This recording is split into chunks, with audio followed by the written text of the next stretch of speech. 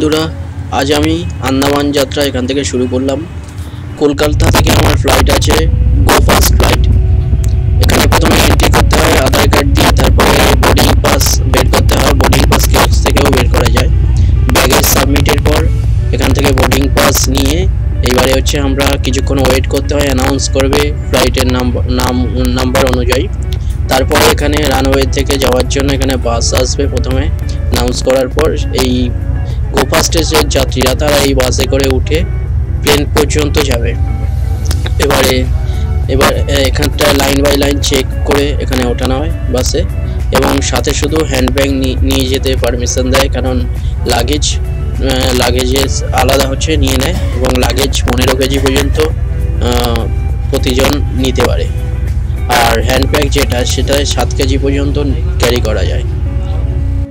Handbag এবার নিয়ে হচ্ছে আমরা একে একে যখন বাস ওখানে দাঁড়াবে প্লেন সামনে এবার উঠলাম, উঠে উঠে এবার বসতে হবে সিট নাম্বার দেওয়া আছে সিট নাম্বার অনুযায়ী এখানটায় বসতে হবে। এবার সব প্যাসেঞ্জার আস্তে আস্তে উঠছে ততক্ষণে। এবারে কি কি মানে করতে করা যাবে, না করা যাবে অক্সিজেন কম থাকলে ওপর থেকে যে মাস্ক নিচে পড়ে যায় বা এগুলো সব কিছু এয়ার এয়ার হোস্টেস আছে তারা বলে দেবে। পরপর সবাই এবার এখানটায় সিট নাম্বার অনুযায়ী সবাই বসার পর প্লেন এখান থেকে টেক টেক অফ করবে এবার।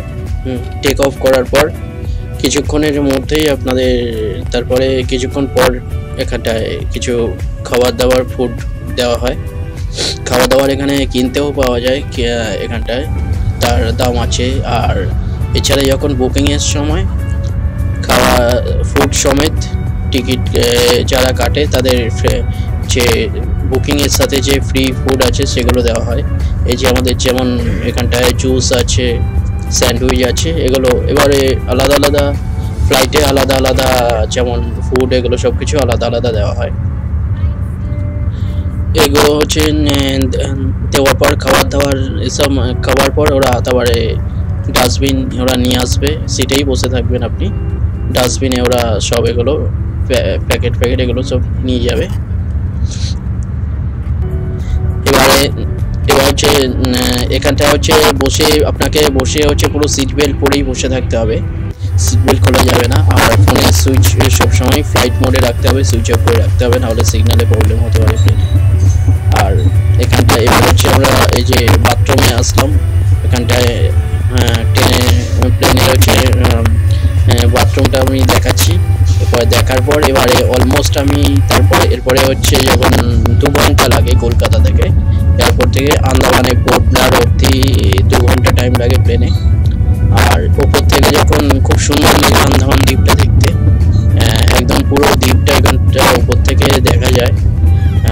যদি আকাশ মেঘলা না থাকে, পরিষ্কার থাকে, তাহলে খুব সুন্দরভাবে দেখা যায় এটা পরিষ্কার একদম। তারপর হচ্ছে প্লেন এবারে পৌঁছানোর পর যখন নামবে সেখানটায়, নামার পর ওখানটায় দাঁড়িয়ে থাকতে হবে ওয়েট করতে হবে কিছুক্ষণ। কারণ আস্তে আস্তে সবার ব্যাগেজগুলো আসবে পরপর।